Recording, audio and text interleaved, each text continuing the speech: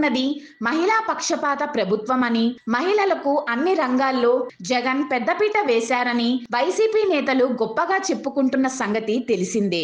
మహిళల రక్షణకు జగన్ దేశంలో ఎక్కడా లేని విధంగా దిశా చట్టం యాప్ తీసుకువచ్చారని ప్రచారం చేసుకుంటున్నారు. కొన్ని రోజుల క్రితం జగన్ కూడా దిశా యాప్ పై ఓ భారీ కార్యక్రమం నిర్వహించి యాప్ను డౌన్లోడ్ చేసుకోవాలంటూ పోలీస్ శాఖ ద్వారా నానా హంగామా చేయించారు.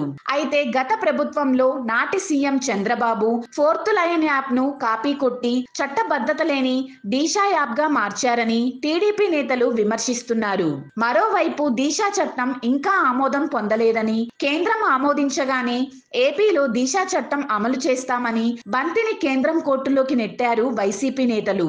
తాజా పార్లమెంట్ సమావేశాల్లో దిశా చట్టానికి ఆమోద ముద్ర వేయాలంటూ తన ఎంపీలకు హుక్కుం జారీ చేశారు జగన్. అయితే జగన్ మెప్పు పొందాలన్న హడావిడిలో వైసీపీ ఎంపీ గోరంట్ల మాధవ్ అడిగిన ప్రశ్న వైసీపీ పరువు తీసింది. దిశా చట్టాన్ని రాష్ట్రపతి ఆమోదం కోసం పంపామని ఆ వ్యవహారం ఎక్కడ దాకా వచ్చిందంటూ పార్లమెంట్లో మాధవ్ లిఖిత పూర్వక ప్రశ్న అడిగారు. ఆ ప్రశ్నకు కేంద్ర హోంశాఖ సహాయక మంత్రి అజయ్ కుమార్ మిశ్రా లిఖిత పూర్వక జవాబిచ్చారు. ఆ యాప్ పై కేంద్రానికి వచ్చిన అభ్యంతరాలు అనుమానాలను నివృత్తి చేయాలంటూ ఏపీ సర్కార్కు దిశా బిల్లును తిరిగి పంపాలని ఆయన చెప్పడంతో మాధవ్తో పాటు వైసీపీ ఎంపీలు షాక్ అయ్యారు. దిశా బిల్లును రాష్ట్రపతి ఆమోదం కోసం ఏపీ ప్రభుత్వం పంపించిందని ఆమోద ప్రక్రియలో భాగంగా సంబంధిత మంత్రిత్వ శాఖలతో సంప్రదింపులు ప్రారంభించామని ఆయన వెల్లడించారు. అయితే దిశా బిల్లుపై ఆయా శాఖలు లేవనెత్తిన సందేహాలు